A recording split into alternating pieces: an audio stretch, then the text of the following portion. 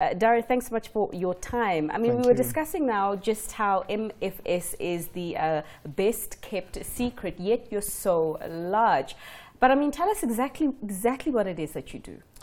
Thank you very much. Um, we essentially help, help uh, African consumers, uh, mostly digital users, so someone connected to a mobile wallet, a mobile network, to send and receive money using their phone.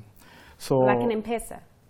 M-Pesa is one of our biggest clients indeed. So we are a B2B business. We enable those companies such as M-Pesa, uh, banks, money transfer companies to allow their customer to send money cross-border using their phone. Mm-hmm. So to bring it down, uh, you know, back home here in South Africa, I'm sure you're familiar with the e-wallet. Yeah, You know, for sure. We've just heard from FNB launching e-wallet extra. Perfect. So typically you will put a phone number and then you will send money to someone who will be able to then go and get it at an ATM here in South Africa.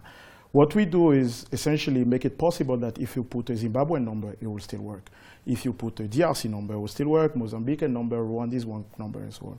And if you were doing this from Uganda, if you put a Kenyan number, it will work. You say this is not the case currently with local service providers. Not in South Africa. So South Africa um, is, uh, we, we don't service South Africa partners at the moment, but that is changing rapidly and is coming.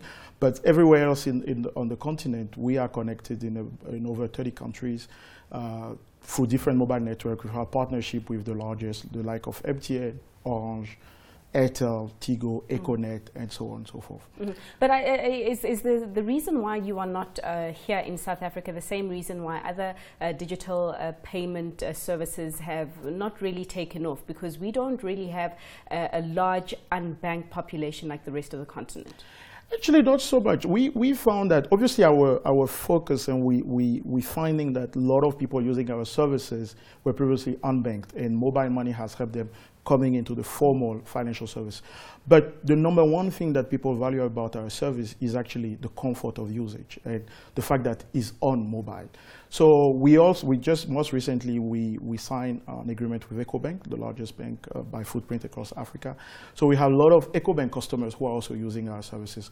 The reason we haven't been so present in South Africa has to do first that we felt the need is not so big, that you know, there are quite a number of ways to send money around in South Africa as opposed to if you are in Guinea-Bissau or if you are in Madagascar, for instance. Uh, but also because, uh, you know, there are some particularities to South Africa regulation around exchange control and how you move money in and out of South Africa. But we are actively engaging with uh, South African players, including the Reserve Bank, to change that in the, in the coming months. Okay, perfect. So, Dare, you've uh, gotten into bed with the uh, Chinese, um, a very expensive transaction there. Tell us what that is about and how uh, that will improve your company going forward, if that.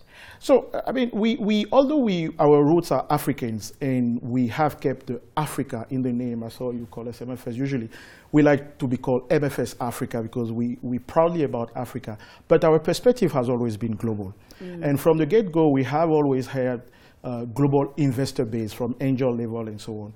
And uh, in the course of, uh, of uh, raising additional capital, we, we uh, engage with novel players outside of Africa, sharing our story because connecting the African users to each other, mobile money users to each other, to be able to send money is only the first step for us. What we're really after is to create this one network that will eventually connect African users and consumers to the rest of the world. So yes, we have 170 million people today who are sending money to each other and can be seen as remittance customers. But it's also 170 million consumers who buy every day on Amazon, uh, could buy on Amazon if they want to, on Alibaba, on iTunes, and so on and so forth. What are the potential headwinds to that dream? Say it again? The potential headwinds to that dream, to that goal? Well, we we far along the way, if you think about it, like today, effectively, what the MFS Hub is is a one connection that make it possible for someone who want to collect money or send money to an African consumer, whether this person is in Liberia, Guinea-Bissau, Benin, Rwanda, Zimbabwe, to do that through MFS. So we have effectively created what could be seen as the ACH at the level of Africa, one truly digital network that allow businesses outside of remittances to do business with African consumers. And that brings me to you know why why China, why a Chinese partner? Because I think when we were telling our story, it resonated with Chinese investors who have seen similar pattern.